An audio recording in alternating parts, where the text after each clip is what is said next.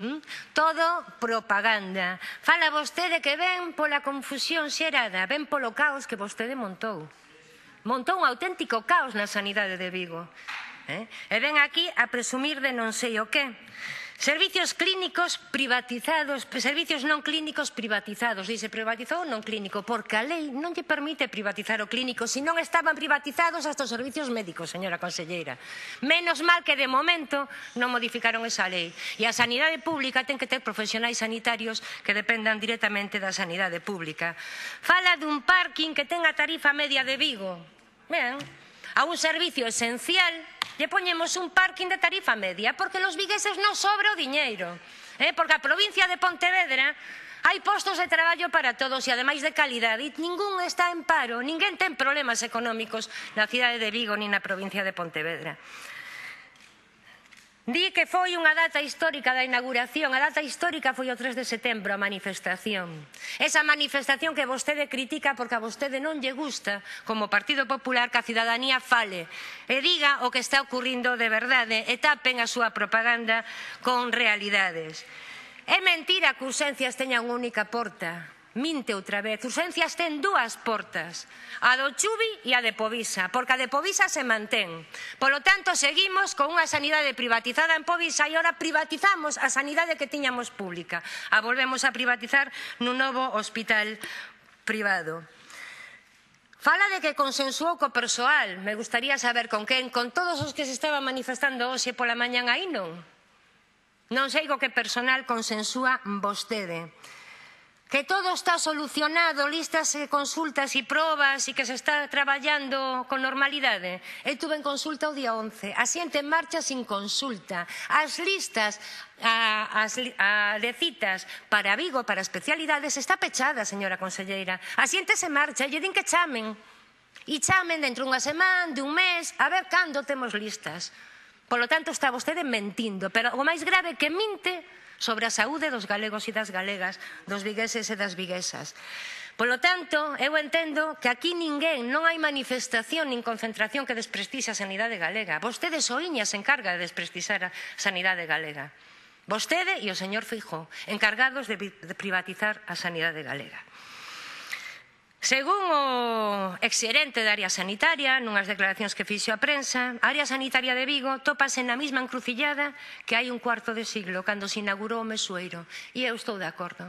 O Mesueiro tamén iba a ser o hospital que iba a ter Vigo de última xeración que iba a dar solución a todos os problemas de Vigo. E como terminou o Mesueiro? Comezou a súa construción no 86 por 5 millóns de pesetas. Ia ser o terceiro hospital público e se inaugurou, evidentemente, como ahora, as presas das eleccións, 17 días antes das eleccións. Ahora tamén, un ano electoral, hai que inaugurar o hospital como sea. Pero pechouse unha semana despois por denuncias de falta de medios. O hospital non se desenrolou segundo o que estaba previsto. Iba a ter un centro oncolóxico de vanguarda que non existe, Non se contou con servicios de cirusía cardíaca hasta que chegou METEC, se lles entregaron a METEC, non a Sanidade Pública. Mas facial que tan emén iba a quedar no Mesueiro, se concertou con Povisa. Tampouco se construíron nin a Escola de Enfermería nin a de Fisioterapia. O Hospital do Mesueiro foi o campo de probas para o proceso privatizador do que estamos falando ahora. Un hospital O novo que se inaugura coa privatización de todos os servizos igual que non son asistenciais, igual que pasou no Hospital do Mesueiro. No ano 91 produce a transferencia aos Sergas e hai dous actos importantes, o concerto de Povisa e a introducción de Metec no hospital que impiden que o Mesueiro sexa o hospital público de Vigo prometido. Tuvo a súa contestación social oposta ás privatizacións e a men, o mengue dos servicios no Hospital do Mesueiro. Hasta que chegou, por desgracia, mortes de pacientes de aspergillus que deixaron en evidencia a parasitación comité que estaba facendo do Hospital do Mesueiro e os criterios economicistas que prevalecen na xestión público-privada e a falta de atención á calidade dos servicios que se prestan. Agora, a área sanitaria de Vigo volve a sufrir unha nova agresión e discriminación. Coa sustitución dos hospitais públicos Xeral, CIES, Rebullón e os centros de especialidades de Colla e doblada por un hospital privado. Privado. Ademais de manter o concerto con Povisa, outro hospital privado, e o desvío de pacientes de Pontevedra ou Salnés a Compostela. Polo tanto, todo o que rodea a este hospital é escandaloso. A licitación, a concesión, o financiamento, os prazos de construción, a inauguración, todo foi un desastre. Un hospital sen laboratorio central que, se, que está, estará no mesueiro a varios quilómetros pondo en risco a calidade e a seguridade das probas diagnósticas.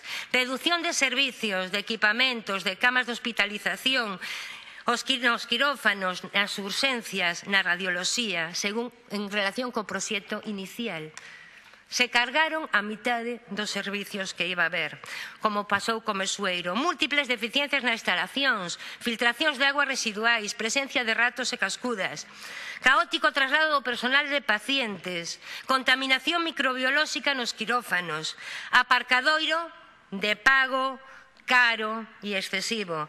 De estar ingresado e querer un bono para televisión, radio ou internet, hai que pagar unha pasta. 13 euros o día e se se colle un bono de tres días, 18 euros. Señora conselleira, vostede se dá conta do que é para un paciente ou para a súa familia que está ingresado no hospital asumir o pago dese aparcamento e ademais dos servicios como pode ser a televisión ou internet. Vostede non montou un hospital, montou un negocio para determinadas empresas. Eso que vostede montou. Este modelo de xestión elexido pola Xunta supón a cesión do, da xestión dos servicios non sanitarios á empresa construtora, con un canon anual durante 20 anos de 68 millóns, en total máis de 1.500 millóns de euros. Despois de sufrir un atraso de máis de tres anos e os recortes de servicios, temos que pagar un sobrecusto entre 4 e 6 veces superior ao precio real. A súa inauguración está chea de deficiencias, falta de cuñas, electrocardiógrafo, carros de parada, carros fornos de roupa, nitroglicerina, bombas para suministrala, as resonancias fanse nun camión, unha fotografía maravillosa para a sanidade da cidade da área sanitaria máis poboada de Galiza. As consecuencias quedaron patentes coa paralización dos pacientes por risco de contaminación. A Oficina Técnica de Seguimiento foi encomendada a Galaria, Eso é transparencia. O, o, o seu é a transparencia que vai en todo este proceso, habilitándola para externalizar esta actividade a unha empresa privada que foi encomendada por máis de 4 millóns á empresa Eficit Clinical Management, cua, cuxa titular ten, ten tido desempeñado cargos de responsabilidade na Administración sanitaria e responsabilidade directa e ten responsabilidade directa nos recortes, desmantelamento e privatización da sanidade madrileña que se me e sabemos que foi todo un éxito co clamor popular. A Asociación Galega para a Defensa da Sanidade denunciou a adjudicación ante a Unión Europea, como vostede dixo, pola utilización da fórmula público-privada. E iso merecería que vostede explicara por que optou por esta fórmula e non pola fórmula que se tiña que ter, eh, que ter eh, escollida que sería o modelo de concesión de obra pública. Me gustaría que o explicara na segunda intervención así como os recortes eh, introducidos no contrato camas, quirófanos, urxencias, investigación, docencia, laboratorio, hotel de pacientes, mobiliario, lavabos, consultas... Que pasou? O risco de financiamento foi cuberto polos Sergas, con crédito do Banco Europeo de Inversións, Instituto de Crédito Oficial e FROP, que non dan préstamos a empresas privadas. O Chubi deixou, polo tanto, de ser a referencia para os habitantes do Salnés nas técnicas que non existen nos hospitais e delo encargouse o director de asistencia sanitaria do Sergas Félix Ruibal e en premio vostede o nomeou novo xerente da área sanitaria de Vigo. Por todo o escándalo que rodea o Hospital Álvaro Cunqueiro, porque así o sí o día 3 a cidadanía nunha manifestación histórica en Vigo presente a súa dimisión e volva a empresa privada que é a que centra os seus verdadeiros intereses. intereses. Nada más, muchas gracias. Gracias, señora Martínez. Bloque, por lo bloque nacionalista.